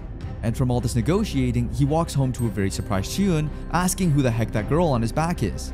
Before continuing, we have the obligatory jump to a rather edgy man making his way toward a huge tower amongst a world laying in ruins, remarking something about the ninth floor. If you recall from previous episode, that's us. But in the meantime, Kim now has to explain to Shion how he got $11 million in compensation, the rights to four low-level dungeons, and this hostage as compensation. Yeah, good luck with that, buddy. You're going to need it. He also has something on a personal note to ask the woman, so it's for the best that she wakes up soon. But of course, the story wouldn't give us that big convenience, would it? No, because this is decently written. When Shion is gone for the day, all the bosses are beginning to respawn, so his time to shine. Kim looks over the beaten woman who lays unconscious on the bed before him, covered in large part by a familiar skull tattoo, just like the skull he had once worn when in the tower. True emptiness comes from first abandoning yourself, is what he had said while carving that mask. Opening the information tab, he gains a little insight about Hong Lin, who quietly sleeps her way through the day. And then hell breaks loose in his mind as a new notification appears. Someone is climbing the 9th floor tunnel towards Earth. He's taken straight to AV with only a 5 second warning. She warns him in person that that person is on the way, the next climber. She brings up the notification panel in silence when asked who's coming and how much time they have, but gets clobbered over the head for her next attempted words. If she had just brought him here to recite what the useless notification did, there was a lot more than just one hit waiting for her. Instead, she had brought him here to give him a stark warning about this next climber. They're stronger than anything he's faced before, and before he could even consider any semblance of a fair fight, even when no such thing exists or ever will, there would be many a thing he'd need to prepare for. He would need to awaken his skills of magic before anything else. Though this person isn't a high rank climber, as you'd need a lot more than magic for one of those, even middle rank would be an uphill battle without the use of such important skills. She manages to squeak out that she can't tell him much of anything else. And Kim accurately sums it up as, a middle rank climber is coming up, but I won't tell you all and I'll just watch as you struggle. Once AV has been thoroughly smashed, on the school you degenerates, she's insistent that he shouldn't keep taking his anger out on her as a fragile little lady just trying to do her job. Then do your job, AV, and give him information required to, you know, save the earth. Didn't his parents teach him not to hit weak women? Oh. Oh. Well, that's a sore spot if I ever seen one. Not realizing what she's done until after that fact, AV gets the reply that no, his parents didn't teach him anything. They've been dead since he was a boy. A bittersweet memory, they got killed in a car crash. She bows repeatedly to try and fix her grave mistake, but he dismisses it as nothing serious. The first time she's visibly gotten under his skin in this series, and it had to be about the parents. Why you gotta do that to the poor man? Knock off GLaDOS? Moving to the return part, Kim moans endlessly in the Aran Guild's headquarters from within a very large, very intricate magic circle. Soyun calls out for him to not touch the chalk at any blasted cost, as this is a 5... Wait? No, that... Okay. Ahem. Um, This is a magic circle with $5 billion, and the part frustrating Kim so much is that no matter what is done, there's not a single trace of magic in him. It is at this time Shion decides to stick his neck in and hand the distraught protagonist some mail, a package of documents regarding the creation of a guild. Both Yun and Shion are surprised at the fact that their old friend had established something like this without warning. Now that he has the rights to some of the dungeons, Kim figured that he should actually start doing something with them. Even named the guild guardian after a secret job of protecting the earth. Kim turns to Shion while he's there and asks if the woman he had brought back was awake yet, the short answer being no. He'll be busy in the meantime trying to figure out ways to gain any form of magical power and Yun recommends a hunter with a unique talent called Blood Degree from the Japanese Hunters branch. Apparently, she can directly inject magic into hunters to upgrade their stats to the next level, but this also means Kim would have to fly all the way out to Japan in order to meet with her. Kim mentions that this is a little annoying and puts his hand down to lean on it, only to slip on the chalk and break the circle. I'll, um, I'll just let Yon's face do the talking here. $5 billion, right? The lightning surrounding the building now says yes, rest in peace. And the same can be said for some of the people in Japan as this is going on, for at the very moment, something appears in front of the Japanese labyrinth. That looks a lot like a teleporter to me. Uh-oh. Faced with an impossibly strong adversary, Guildmaster Nakagawa, the person Kim and company are going to be looking for, is running around helping people up with her abilities. That is, until the most terrifying opponent makes mincemeat of her comrades in arms. Now faced with the corpses of those who had begged and screamed for help only moments before, she has but a second to consider options before coming face to face with him and getting diced into thundery death. And just when she does, Kim gets a notification that the climber has henceforth reached the 9th floor. He gets a ride for the airport immediately. Meanwhile, at the Japanese Hunters branch, four people including the supposedly dead Nakagawa sit at a table and are forced to watch the chaos unfold as Chunma, the climber's name, cuts through everything in his path and more. The saddened guildmaster was able to be revived through an artifact but her guildmates and the endless slaughtered civilians weren't so lucky. But even more of a treat to her eyes is a ray of hope as the advanced player enters view, standing before Chunma without fear despite the man's bizarre appearance and resemblance to feudal Japanese fashion. Being unable to check his status, Kim basically confirms this is the climber he's supposed to fight, and gets straight to the point asking what he is. This prompts Chunma to attack immediately, swinging the giant blade and sending a blast out. It decimates some nearby rocks, but not the protagonist. Wait, where did he go? Oh, that's where. Chunma is quick to realize he's about to get decked back to where he came from, and is quick enough to block, forcing Kim back and into a range where he can use that strike again. He's certainly fast, but not fast enough that our hero has no chance to dodge the attacks. That's right, attacks. Because this is not just a single cut at him, it's a whole lot of them all at once, done with such a speed that they all blend together. Should one of those hit him proper, he'd be dead on the spot. So instead, Kim will use the range of that attack to his advantage by getting in close where Chunma doesn't have a chance to use it. Slamming his fist yet again into the block of a sword, the climber is roughly surprised by the literal gut-wrenching agony of a full-fisted punch from the now interested protagonist. Realizing that he can't give the guy any distance, Kim rushes back in, but it's too late. The lightning aura of Chunma has been released and it angrily flares, much worse than Yun's earlier rage. Watching from the boardroom, Shion is tricked, confounded, and downright bamboozled at what he's seeing from the battlefield. Not only did a crevasse open at 2 p.m., Kim somehow knew about it. He knew and rushed over to Japan whilst Nakagawa and company were awaiting reinforcements, bolting away from the airport and straight for the scene of action from the moment they landed. Wondering what kind of BS skill this was, Chunma outright says this ain't nothing like what they have in this world. With a long distance strike while Kim is running around like a monkey, he attempts to slice the protagonist in half, and gets a massive headache for his trouble. Making his enemy lean over from the pain now circulating through his head, Kim takes the chance to use that one skill which obliterated the previous climber, the one he'd yelled out and been embarrassed of. One clean hit to the temple later, and he's checking if it had any effects, but no, his ultimate did nothing but knockback damage. Oof. Time for retaliation a very painful one. Kim tries in vain to close the distance before it's too late, scrambling forward in any sense of the word to get close enough while the guy monologues his evilness for all to hear, and also calls out the attack move like an 8th grader. Shion and the meeting room watch in terror as everything in the sword's path is just gone. Every single building, every piece of rubble, everything. It's all gone. All except for Kim who had avoided the majority of the attack by the skin of his teeth, but the graze he got from it was still exceedingly painful. Electricity flows through his veins with the blood and causes more than just cool monochrome effects. It makes a notification pop up. He has unlocked his mana at long fluffing last, and finally, it's getting upgraded. The magic lightning is being forced through his body and jumpstarting whatever the heck magic is made from. If this is the same Chunma who had appeared in countless books on martial arts he had read as a subject, then he's the undisputed king of the castle in his field of study. Kang Jin Ho would like a word with you. But even after seeing the Raiden's blade that Chunma had used to almost kill him, Kim still had ideas of beating him the heck up and taking a victory. Well, yeah, he's got an attitude of magnitude and the pride to go with it. What else did you expect, plasma for brains? Oh, and the magic lightning had pierced Kim's mana veins. All he had previously done in the tower was follow Chunma's movements blindly, not knowing what mana pathways to use for what moves, or even how. But now he gets the awesome benefit of glowy pink wings and a black hole behind him.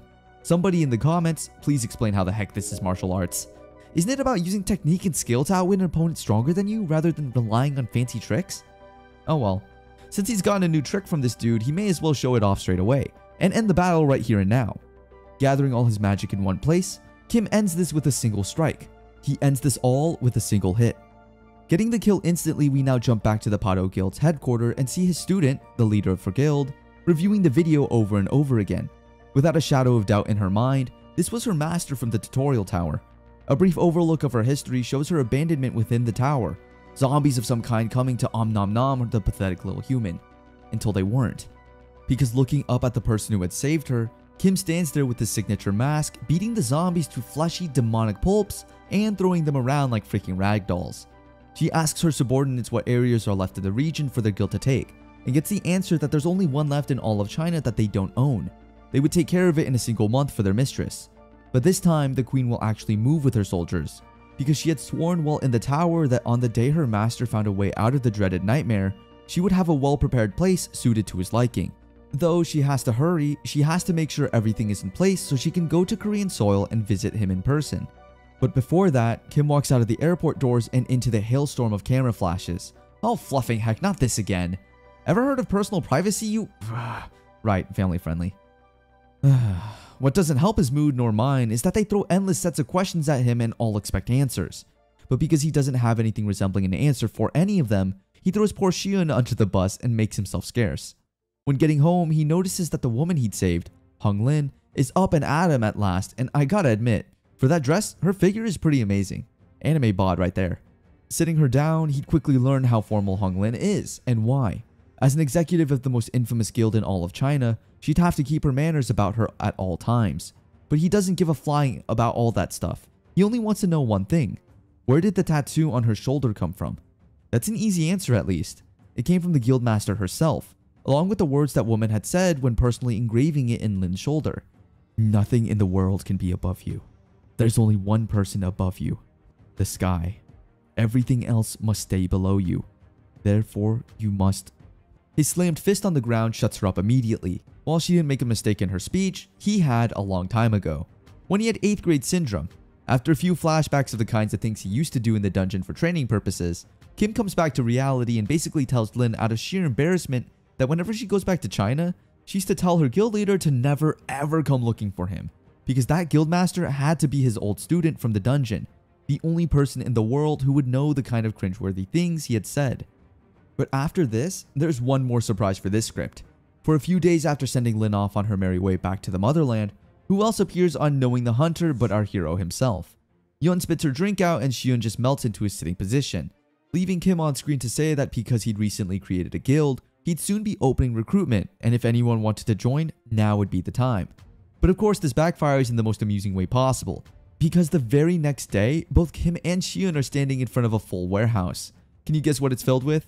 Guild applications. Getting his friends to help out with sorting out the endless paperwork in his warehouse of horrors, Kim had promised that they could use his beginner dungeons as payment for their immaculate aid. He's like the only dude who would call guild masters for this. And amongst all the chaos of sorting out papers, Kim also has to deal with all the guild applicants in person to determine who would join him. Many are faced with extreme rejection, as you'd expect from the hothead, but making use of his new skill to check their personalities comes in real handy. He had gotten the extra out of AV when going to see her after defeating the climber last episode, and after she'd congratulated him, the ability popped up in his little menu when using the Info Authority skill. The notification performance had been improved as well. It had better be unless you want more dents in the skull, sweetie. But little did Kim know just how useful it'd be. Now looking over the three newbies in his makeshift office, Kim finally finds the personalities he'd been looking for this entire time. These hunters are overjoyed at being accepted into the guild of the infamous advanced player, given how strict the perceived requirements are. Nah, he's just stupidly lazy. Talking to Shion later, Kim lets out that he'd intentionally been picking out people who wouldn't steal from him by ways of personality. Okay, that's honestly kinda smart. They don't have to be very skilled since he'd be the one doing all the beating up, though it's noted that there were no S-rank volunteers. They are apparently quite a rare sight all around the world, a total of 5,000 in existence. Soyun is 161st, he's 163rd, and Sokwan Hyung, the older gentleman of a guildmaster, is 175th. Talk about friends in high places, yeesh. Anyone inside the top 200 is recognized, but most die trying to get their hands on ST plus grade artifacts in pursuit of more power. There's apparently a fine line when it comes to ability grades, and you can only progress a maximum of 3 higher than your start. If you begin at C, your highest will be A-. In order to curb this gap, many people go for ST plus artifacts from the depths of the labyrinth, but killing other hunters for them is also an option. Being dropped off at the visible swamp dungeon with the smirk widening, Kim tells his friends to go on ahead. He's gonna destroy the boss and join shortly. I believe the plot has other plans, mate, because waiting for him just beyond the gate of the visible swamp is a strange group who call themselves Pandemonium, hunter killers. Meet Le Chancla. These guys are professionals who have all previously made it to the top 100 of the S-rank charts, and so long as generous rewards are given on mission completion, they've never once failed an assassination. Until today, that is, because my man got places to be and you're so unkindly in the way. But among all these murderers is a huntress that catches his eye. Is it Ruby Rose? Rest in peace, Monty. No, but it is someone he can make good use of. Anya the Circler. A little back and forth later, he's trapped in a spell and still keeps the attitude at the ready. When she says he should understand the position he's in, big mistake, he already does. I quote, I'm asking so I can figure out if I should kill all of you or not, but you have no patience. This sends shivers down her spine understandably, and the team engages Kim in one heck of a lopsided fight. In his favor, of course. Wonder if his poor slipper survived the onslaught. Speaking of onslaught, somewhere in the bowels of Xi'an, China, The strewn about remains of battle are evident within the underground bunker the Pado Guild have just raided. Kim's student has come out on top of everything thrown at her and has the audacity to laugh in the face of the opposition when he mentions stronger forces on the way. That's quite cute, but also extremely unnerving. To end the guy's suffering, she takes a rather familiar stance and pulls the same kind of stuff that Kim had in the crevice. The Overlord's punch decimates what's left of his forces and him, leaving her alone in the scene of carnage and strife. A quick memory of her master's words to not come looking for him makes her envious of Hong Rin, but it's outweighed by her own desire to see him. Definitely yandere. Crazy even if she is hot. Can we get a name for her please? Walking out of the burning building, the little lady takes his words as don't look for me until you have fulfilled your vows. That's gonna be a nasty shock. And now, dragging a certain someone with him, Kim surprises the heck out of Soyeon once more with the person he brought to fix her five... Oh, $5 billion magic circle. The one that he broke in last episode. Sorry, saying that still causes gears to turn. Anyhow, with the small girl getting to work immediately to save her own butt, Yon is further surprised that he slipper slapped the life out of Pandemonium. The Pandemonium. I can almost see how soft her voice is while processing this. Hmm? Then, as a seemingly innocent gift to his old friend, Kim hands her the staff and robe used by Anya earlier, both S plus artifacts, and then proceeds to leave to go and, um, repay the Ares Guild for the little present. Better start praying, manager. Slamming the attackers left and right with his toy hammer, I wish I were joking, Kim sends the entirety of the first floor security packing, including some guys who must be prepared to meet their maker. Blocking his way and not helping out their buddies in trouble, that's not very comrade of you boys. Getting a read on the situation from up in his pristine office, the manager listens as his subordinates get pounded to oblivion by a child's plaything. If news got out that they were getting beaten up with such a thing, Ares would lose its face entirely, become a laughingstock. But I think you have bigger problems right now, buddy. Like that, maybe. The manager is bonked back into his nearby bookshelf by a very irate protagonist who's getting rather amused at this little game of cat and mouse. How long had it been since they had talked about compensation for the damages that Ares had caused him? And look what he's gone and done again. Some people just never seem to learn. This time, he wants about 20 billion won. Still practically nothing in terms of the money Ares has. The manager is more concerned with the fact that Pandemonium was beaten. Kim then scares the life out of him by resting the hammer on his head, saying clearly that every time Ares sends a man after him, he'll come to claim compensation. Better call the hospital now if he doesn't want his subordinates to die on his doorstep. For now, the manager would just have to accept his defeat, even though he now wants Kim dead as a personal vendetta. So petty, bro. Chill out. There is only one person left he could think of to face this nightmare of a man that keeps humiliating Ares. The fifth within the world of the S-ranked, the Emperor Dragon. But before that, something else had to happen. For down on the 8th floor of the Celestial Tower, a new climber is making their way up. The final Guardian had lost a bet against her, and as promised, she'd take the final city as sacrifice. With only 5 steps on its floor, everything is destroyed. That, hmm, that's strong. For it to have ended there, this technique may be shortened to the 5-step extermination instead of 10. She and her companions then move to leave, hoping to head up and have even more fun up on the next floor. And climbing back up that tower into the world above, Kim is reading the news about Ares having 47 ambulances called to their head office. The internet eats it up like pancakes with sprinkles and syrup. One guy even working at the store Kim had bought the toy from. And then he notices that it's time for his lectures? Huh, you wouldn't think that he'd be willing to do something like that. Later that day, during the middle of said lecture, the climber notification finally pops up with a timer ticking down to arrival. Kim is then invited by AV and would be teleported in one hour. He drops the corpse and has the students tag along while he shows how to beat a boss with his bare hands, the woman translating into Chinese for the foreign students. When he's summoned to AV's office, Kim immediately asks why another climber is coming up so soon. It hasn't been long since Chunma and AV is already ordering him around a whole bunch. She says a little of the information Authority did accumulate, so she'd given him more to work with this time around. The one coming up this time has many comrades with her, but it's not like the Crimson Demon he had first fought. Those were just mobs spawned to the crevice to give the demon a boost in conquering the world. This one is a mid tier and she seems to be one of the above average ones, so he'd have a decent fight on his hands. But the first battle Kim has to fight is that of Soyun as he kicks in her door again, coming to see how the circle is going. Anya was doing her job well, but now he needs her to perform another task, using her unique skill of teleportation to get him somewhere very fast. And where would he be going, you may ask? Why, Germany, of course. Courtesy of the notification. Going all the way there with a little editing, we see the climber standing stoutly in front of the army and a hunter glowing green. There's even a big scary tank there. Not like it'll make much difference. She's to surrender and they'd spare her life. But the woman seems so casual, it's almost creepy. That's quite a lot of confidence for quite the puny human. But while they do think that they have numbers over her, the woman's companions would also be joining her. And they're a lot scarier than some soldiers. We now have a name for her as well, the mysterious God of Chaos. When she finishes her sentence, the creature companions rise and fall on the city, destroying everything in their path while Kim looks through flight menus across the ocean. The average flight time from Seoul to Germany is about 11 hours, and even then there's no guarantee that any airports would be left. Anya is working hard at the helm of her magic circle in preparation to send Kim instantly, though it would still need to take about 5 hours. But while waiting for her to finish, the God of Chaos decides to make a bet with the entire world. She'll stay in the city she's raiding for 24 hours, and if someone can take her down within that time, she'll leave quietly. But should they fail to stop her within that time, she will move on to the next city. The head of the German Hunters Association is stressed to hell and gone as he's told the damages, including 20,000 civilian casualties even with the ordered evacuation. The 100 hunters they had sent to deal with this threat, 32 of which were S rank, are all non-responsive and assumed dead. They've tried asking for help from the top 5 S ranks in the world, as this is more intense situation than the Japanese crevice earlier that month, but none of them responded.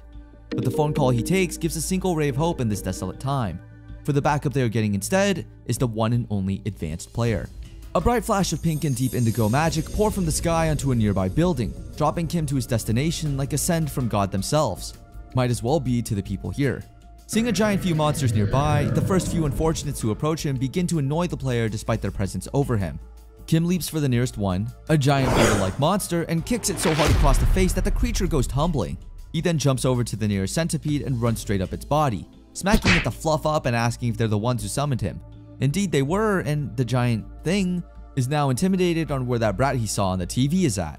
And from all across Germany, people are beginning to filter into a stream to see the utter chaos in the affected city right now.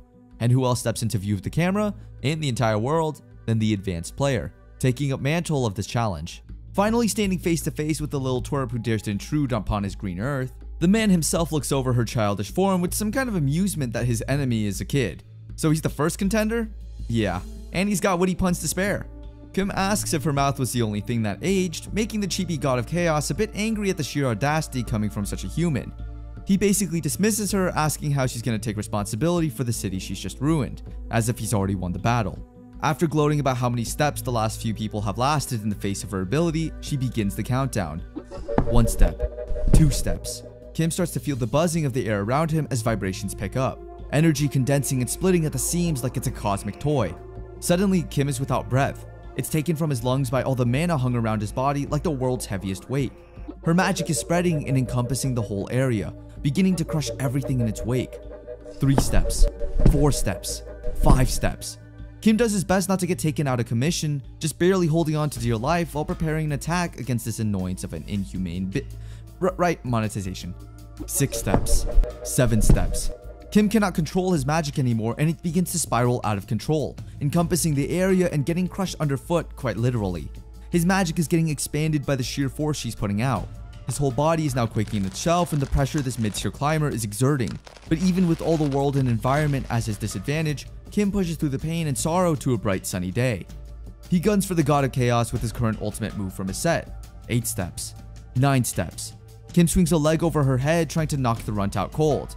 And she catches it. Kim was unable to stop her. 10 steps. Extermination. The mana in his body is practically bursting at the skin, about to rip his body a new one from the inside out. Yet he endures the harshness and comes out on top of the god's divine abilities through sheer willpower. She's very impressed by his durability to withstand her ultimate technique all the way, taking every bit of damage to the point it only influenced a small area. In the previous floor, that same technique flattened the entire city in just 5 steps. So what you're telling me is that he took the equivalent of a nuclear bomb, crushing down on his soul all at once, and lived? What? I, I don't, uh, uh, uh, uh, um, need a second. Okay. Though while he did withstand the damage, it wasn't without some form of cost to himself. Kim is at his limit already. Or so she seemed to think. He stands up tall one more time, his tracksuit now ruined almost beyond repair. Maybe that suit is his plot armor. And reminds her that among the choices of him begging for life or waiting for death, there's a third. Kicking the pants off her and sending the wretch back home from where she came. The deity is very amused by his words and releases all her magic power as a courtesy for the amusement he's provided thus far, keeping her composure and going all out with the 10 steps against her new rival. But this magic is way denser and way heavier than the stuff he just had to deal with. But a notification alerts that he stopped the mana expansion from happening internally, increasing his durability. He's still growing rapidly despite the pressure. When he finally realized this fight was the same as Chunma, Kim had practically won. Clearing his head to think of something that could defeat this tiny vixen, he takes inspiration from everything he'd learned in the tutorial tower. Be it from anime, manga, any kind of fictional characters, to normal people, they were just that. But when you have the same kind of powers as people such as them, they become masters to learn from. Tens of thousands of masters. Managing to control the flow of his magic once more from the forced injection, Kim calms himself and creates a technique out of thin air, grabbing the god's leg with it to stop her walking. Again and again she tries, getting thwarted each time. But she finally tricks him into the defense, landing the fourth step of her skill and crushing him with pressure once more, concentrating all her magic on his body alone to crush this worm of a human being. But as she lands her fifth step, Kim is directly in her face, at least two heads taller than the tiny being, and halting her with his own form of pressure. She looks up at him shocked, in unbridled awe that someone could withstand this much from her hands and still remain above in terms of power. Yeah, get used to it, little lady if you live long enough to see the next fight. Her stacks did nothing to him this time, and now it's his turn to use the powers of protagonist to bonk her back into the dusty wasteland she came from. Using his own special technique, this is all ended in a single massive blow. It only takes a few seconds for this to be over, a beam of pure light piercing her chest and destroying whatever was left of her soul, along with any dreams she may have had of getting to the top of the Celestial Tower. The notifications indicate that he'd successfully captured her. Captured? Okay, probably translation errors or something. And the instant it's all over, he's brought up to AV's office. Through all his efforts, he had earned a fat promotion and could now access more detailed information. Why did AV summon him immediately after the event? Well, she was just happy and wanted to pass the information along. Duh. Sometimes the child melts my heart. After the adorable moment has passed, Kim notices the room they stand in is also a lot freaking bigger than before. AV explains that this is due to him getting upgrades. It directly proportions to his progress, and there are many other things that have changed since he became a mid-low tier authority. Another is that he now has the power to decorate the system room however the heck he sees fit. Trying it out for the first time, Kim brings up the very vivid memory he has of the first floor from that tutorial tower. I bet that must be bittersweet, remembering the old place again. Just as AV had said, soon as he presses the button, poof, she recognizes it instantly and stares in curiosity at the space now transformed before he does it again, this time to Shion's apartment for the sake of comfortability. Now AV is practically ecstatic with joy because it's the first time she's ever seen the room of a human from the 9th floor. She can't use the button herself and has been in that same room from the date of her creation. She'd even sleep on her desk, alone, when tired. Jesus, isn't that a bit harsh? Now they get back to the meat and potatoes. Kim can not only walk in whenever he wants, answers are now available from AV, such as the reason his real stats don't match those shown on the menu system. When the tower was created, it had a lock put on it, stopping people from rising too high in power. But despite the system lock, his strength has continued to rise, creating a disparity between what was shown and what it currently is. Now there's a lot to cover here since this is a season finale and we don't have enough time in the episode, so I'll briefly touch on it all. Crazy Student has gone through yet another guild in her crazed rampage on readying a throne for her master, all from a promise she had made to him in the tower, not the other way as she implied. Kim had essentially gotten an all expenses paid invitation to move to Germany in return for saving their city from the cataclysmic destruction, and we learn that his cover for going crevice stomping is kicking the snot out of those who think they're hot stuff or the world's strongest. And finally, after 10 long parts, we have come to the end of the first season of the advanced player of the tutorial tower. Yes, I hear you in the comments, that is the full name. Enjoy! Now it's time to move into season 2, where a new artist is drawing the panels. Let's jump into it. Almost two weeks after defeating the God of Chaos, Kim Hyun-woo has gone on the now famous Knowing the Hunter show to say some things about his previous conference with the press, in which he'd made some rather odd statements. They replay the scene in question behind him on the big screen for all cameras to see. When prompted for what the heck kind of skills were used to solve the previous two chasms, he said that those weren't skills, they were moves he himself had created. Though the advanced player isn't all too happy being used as a marketing point for the martial arts world to gain more cash, and he shows as such.